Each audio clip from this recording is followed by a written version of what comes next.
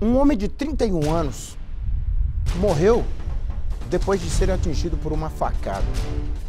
Segundo testemunhas, ele foi agredido durante uma cobrança por dívida de entorpecentes. O crime foi registrado na noite dessa terça-feira no bairro Santa Cruz, em Coronel Fabriciano. Deixa eu chamar a Vivian Dias aqui para a gente repercutir. Já começa quente o balanço geral. Vivian Dias, bom dia para você. Ei, Nico, bom dia para você, a todos que estão acompanhando o balanço geral. Olha só, a vítima deste homicídio é Tiago Silva, de 31 anos. O suspeito de cometer o crime é um homem de 52 anos. Este crime aconteceu na noite desta terça-feira e, o motivo né, está relacionado a dívidas com o tráfico de drogas, viu?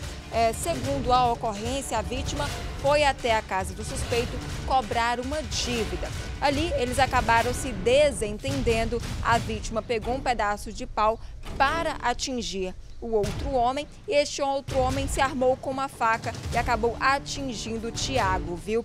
É, testemunhas contaram que a vítima acabou morrendo ali no local mesmo. Em seguida, o suspeito fugiu. Agora a polícia continua as buscas para descobrir onde está o paradeiro do suspeito do crime, Nico.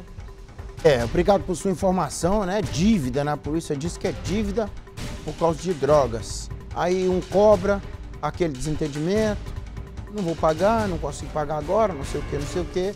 No final das contas, faca. É. Obrigado a Vivian Dias, daqui a pouquinho ela está de volta aqui no BG.